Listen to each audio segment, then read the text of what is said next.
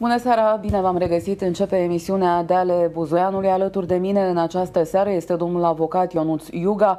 Este prim vicepreședinte al PNL Buzău. Domnule Iuga, bună seara, bine ați venit. Bună seara dumneavoastră și telespectatorilor dumneavoastră. Sunteți prim vicepreședinte PNL, dar și numărul 2 pe lista pentru Consiliul Județean. Asta înseamnă că veți deveni consilier județean, este un loc eligibil, numărul 2, după domnul Romanescu, da? Noi ne dorim să obținem un număr cât mai mare de consilieri județeani și evident pornim în această bătălie electorală să câștigăm aceste alegeri alături de domnul uh, președinte Romanescu și ne dorim să câștigăm președinția Consiliului Județean și un număr cât mai mare de consilieri județeani pentru a ne duce la îndeplinire proiectele pe care ne le propunem și pe care le vom uh, prezenta buzoienilor în această campanie electorală. Ce mai spuneți despre lista depusă pentru Consiliul Județean de la PNL? Ce colegi mai aveți pe listă? Noi am uh, considerat că întregul județ trebuie să fie reprezentat uh, la nivel de consilieri județeani, județeni și cred că prin propunerile pe care Partidul Național Liberal le-a validat, Întreg județul este bine reprezentat și considerăm că avem cea mai bună echipă de consilieri județeni.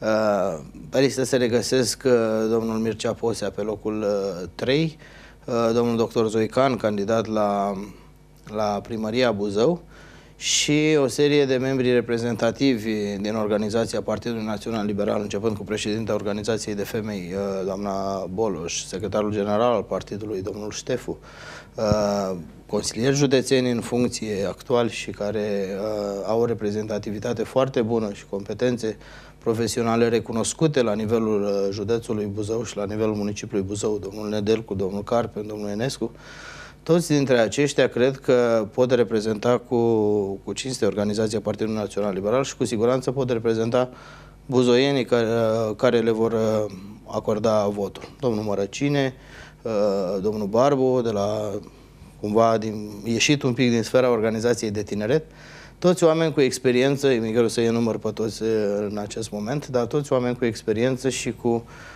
potențial uh, în a aduce lucrurile către un făgaș mult mai bun. Bănuiesc că aveți foarte multe discuții în această perioadă cu domnul Romanescu, președintele partidului, dar și candidatul pentru uh, funcția de președinte al Consiliului Județean.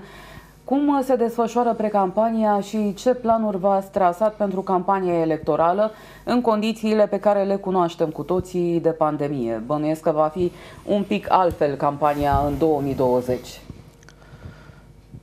Un pic altfel, dar uh, cred că chiar în aceste circunstanțe, mesajul pe care noi îl vom transmite alegatorilor și proiectele pe care le vom uh, prezenta vor ajunge foarte bine în, uh, în a fi împărtășite de către aceștia. Uh, până la urmă ne afectează sau nu ne afectează foarte tare această pandemie. E drept, trebuie să avem mai, mult mai mare rigurozitate în a respecta măsurile de protecție. Însă, pe de altă parte, eram obișnuiți cu celelalte campanii unde se mergea într-un număr mult mai mare de uh, militanți. De data aceasta, cred că fiind număr mai restrâns, păstrând totuși Uh, distanțarea socială și prezentând pe înțelesul uh, cetățenilor ceea ce vrem să facem, cred că mesajele vor ajunge în egală măsură ca și în celelalte campanii uh, în a fi prezentate către aceștia. Va fi puțin atipică pentru că sunt convins că toate formațiunile politice se vor axa către online.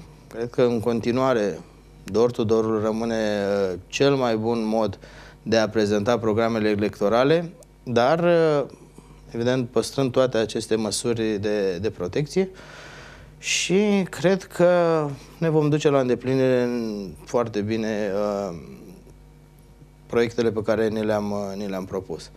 Da, ne întâlnim des alături de președintele Partidului Național Liberal. Deja am început să mergem în teritoriu, în a lua pulsul uh, cetățenilor, a veni în întâmpinarea acestora deja cu uh, proiecte și cu propuneri. Pe unde a Ascultăm, fost? Uh, în tot teritoriul mergem, alături și de președinte, alături de cei responsabili de zonă. Și în funcție de tot ceea ce, uh, toate doleanțele pe care aceștia le au, uh, le îmbrăcăm și mai ajustăm acolo unde este necesar pro proiectul nostru politic, evident pentru a uh, și realiza și a îmbrăca formele uh, juridice în primul rând și totodată uh, sustenabile din punct de vedere financiar pentru a fi și duse la îndeplinire aceste propuneri. Ce vă spun oamenii cu care vă întâlniți în teritoriu? Spuneați că ați fost până acum pe teren. Ce probleme au oamenii din județ? Din păcate, problemele sunt aceleași și cu regret spun că și în 2016, cred că am fost la dumneavoastră în uh, emisiune, și în 2018 și în 2019 și din păcate problemele în multe dintre comunități sunt aceleași, de la asfalt, uh, canalizare, lipsa rețea de gaze, uh, lipsa unor unități școlare dotate cu mijloace sanitare conforme. Uh, multe probleme și, din păcate, uh, subzistă în continuare aceste, aceste probleme în aceste comunități. Evident, se mai discută și despre uh, aspecte legate de politica națională, se discută multe lucruri și uh, aspecte care, evident, noi facem tot ceea ce ne stă în putință de a veni în uh, întâmpinarea lor. Sunt și oameni mulțumiți, cei care ne primesc cu încredere și ne apreciază pentru activitățile desfășurate până acum, atât la nivel uh, local, județean și uh, nivel central. Din toate acestea, va trebui să găsim modalitatea cea mai bună de a acoperi întregul spectru pentru a face să fie mai bine pentru cât mai mulți dintre locuitorii județului. Cu siguranță proiectele și programul îl veți prezenta și le veți prezenta în campania electorală, da? Așa Sigur. e cel mai bine. Bănuiesc că vă axați pe proiecte care pot fi puse în practică, așa cum bine spuneați, problemele sunt aceleași, iar oamenii aceia au auzit promisiuni în fiecare campanie electorală, dar din 4 în 4 ani descoperim că au rămas promisiuni. Ceea ce ne dorim este de a nu prezenta doar sloganuri de campanie sau să punem niște proiecte pentru un uh, pliant uh, bine așezat, ci să și prezentăm modalitatea în care vom găsi și sursele de finanțare și modalitatea în care vom duce la îndeplinire ceea ce ne vom asuma în această campanie. Adică nu vom uh, face promisiuni fără, să, fără acoperire.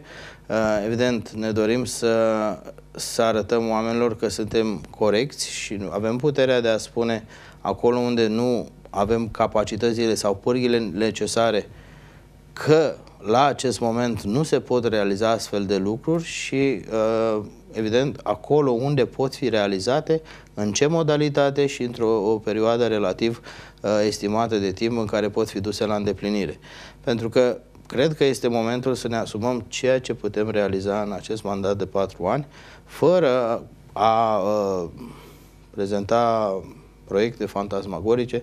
Avem experiența 2016 unde s-a prezentat mare program electoral și constatăm că E mai rău decât înaintea acelor alegeri, în unele situații. Haideți să vorbim puțin și despre Consiliul Local, despre municipiu. L aveți candidat pe domnul doctor Adrian Zoican. Ce mai face domnul doctor? E bine? Se simte bine? S-a terminat izolarea? E bine, se reface, este nerăbdător să fie alături de, de cetățenii municipiului Buzău. Sunt convins, avem toată încrederea în uh, domnul doctor Zoican, un notorietate și profesionalism uh, recunoscut la nivelul municipiului Buzău și nu numai. Și credem că are cele mai mari șanse să, să câștige primăria municipiului Buzău.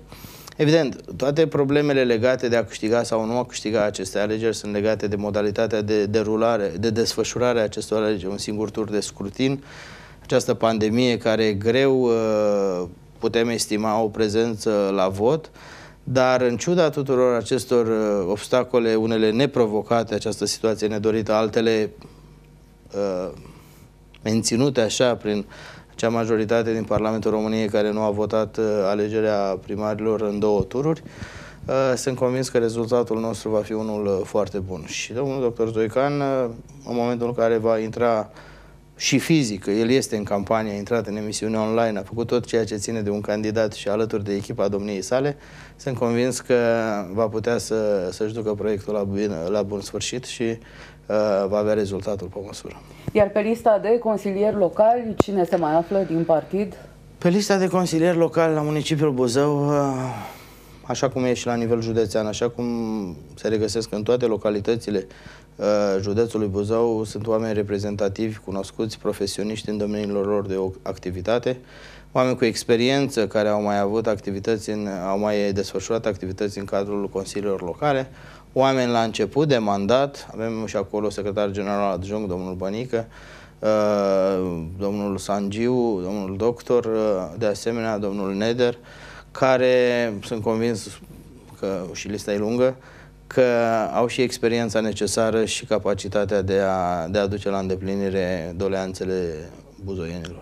S-a făcut așa în interiorul partidului aici în Buzău o estimare a rezultatelor astfel încât să știți care vor fi locurile eligibile atât la Consiliul Județean cât și la Consiliul Local?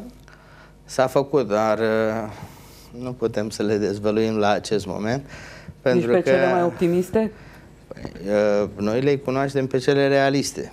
Optimiste, pesimiste, uh, pot să spun doar că stăm foarte bine, în ciuda multora care nu își doresc acest lucru și rezultatul va fi, va fi cel pe măsură. Pentru că dacă veți observa, cumva în această campanie Partidul Național Liberal, nu numai la centru, ci și în, în teritoriu și la nivel județean, suntem cel mai contestat, cel mai atacat partid. Normal, până la urmă, suntem partidul uh, aflat la guvernare, dar uh, toate celelalte formațiuni politice, independent de uh, alte adversități între acestea, au ce au cu Partidul Național Liberal Vorbiți și cu candidații noștri. național, da?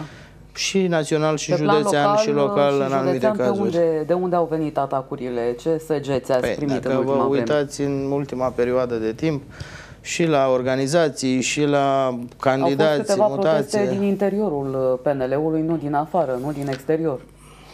Mult spus din interior. Dacă vă Mult uitați, spus din interior. Păi, unul dintre, dintre reprezentanții de la protest se regăsește pe lista unei alte formațiuni politice. După protest. Era dinainte, după protestul oficializat. De ce mai făcea parte din partid dacă era deja pe listă la alt partid? Pentru că, vă dați seama, de altfel presa a și speculat în acest sens, mult spus speculat, s-a convins de acele lucruri care s-au întâmplat la acel moment. Noi am, de multe ori am considerat, sau n-am luat întotdeauna deciziile tranșante și la, una, la momentul la care trebuiau luate. A fost de bună credință și am considerat că o echipă, nu noi trebuie să dăm semnalul în a uh, disipa această echipă. Și am stat până când uh, cei care aveam informații că au ales alt drum uh, să și-l aleagă domniile lor și să nu luăm această măsură. Criticați totodată din interior pentru astfel de, de măsuri, dar am considerat că uh, Uh, așa e normal și să dăm tuturor șansa și de a strânge rândurile și echipele Partidului Național Liberal în orice moment. Acum, fiecare cu opțiunile sale și le respectăm, vom fi adversari și sunt convins că dumnealor au pierdut mai mult și nu Partidul Național Liberal. Spuneți-mi, ieri a fost ultima zi în care s-au depus candidaturile. Câți uh, primari, uh, câți candidați la primărie în județ veți avea? Candidați avem în aproape toate organizațiile, cred că sunt vreo două, trei, patru comunități mici unde a fost greu să identificăm uh, cel mai potent candidat și cu, în ciuda acestor aspecte, în unele dintre ele avem liste de consilieri locale. Uh, per total, în localitățile cele mai importante avem, cred că peste tot uh, cele mai bune echipe cu care încercăm să câștigăm aceste alegeri, începând cu Buzău, Râmnicu Sărat, Nehoiu, Pogoanele Pătărlagelor, orașele mari cu bazine mari de votanți și care simt nevoia unei, unei schimbări și totodată întreg spectrul al comunelor la nivel județean și cele mai mari și cele mai mici unde le-am acoperit. Evident, exact ce vă spuneam, un singur tur. S-au conturat așa niște mici alianțe locale, Finul, Nașul, în toate părțile. Noi n-am vrut să intrăm în astfel de jocuri politice și acolo unde am găsit cel mai bun candidat, dorit de comunitate, care să și fie serios, să îi reprezinte așa cum trebuie, l-am desemnat uh, candidat. Acolo unde nu a fost posibil o astfel de chestiune, decât să încercăm infuzii de la alte formațiuni politice, așa cum s-au făcut sau au făcut alte formațiuni politice, am preferat măsura în care nu identificăm un nucleu nou în jurul căruia să construim, să lăsăm aceste lucruri după alegeri. Se vorbește sau se vorbea încă, se vorbește despre o alianță cu USR Plus la Buzău? Noi am fost deschiși din primul moment și suntem în continuare deschiși unor astfel de alianțe și de susținere.